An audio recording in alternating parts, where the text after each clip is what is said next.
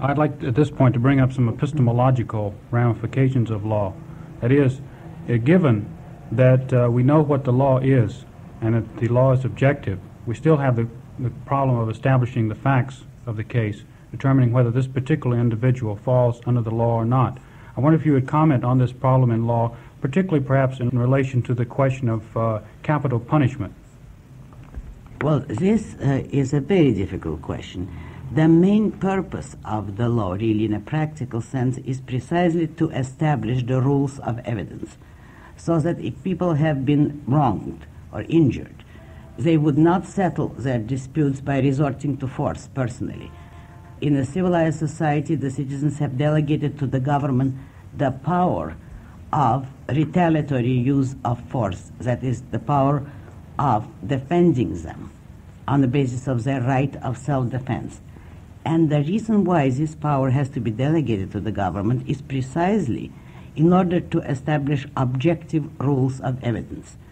Because you cannot leave even the retaliatory use of uh, physical force to the discretion of every individual citizen.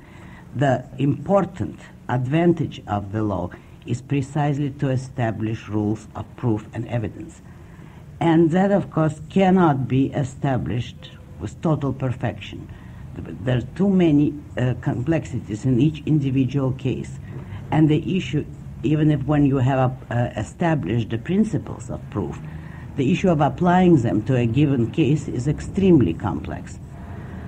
So that here, all one can say is only that the objective laws are hard enough to formulate and to apply. And that is what a society should strive for. To add to it the chaos of non objective laws is one more uh, instance of why non objective laws, which would involve also non objective standards of proof, are a destruction of legality.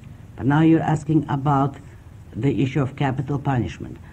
I would say, in principle, morally, I approve of capital punishment in cases of first degree murder. That is, if someone, by conscious, deliberate intention, has murdered someone, he does morally deserve to forfeit his own life.